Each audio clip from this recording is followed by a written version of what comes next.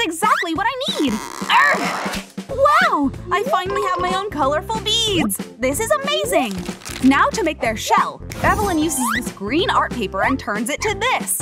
Let's take the green beads too. You can draw silly faces on them. Let's thread some pieces of elastic through them. And we have a golden glittery glue to stick them inside the shell. Well, that looks interesting! Yay! Our own fidget toy! This is so pretty and easy to make! This is so much fun! I'm in love with them!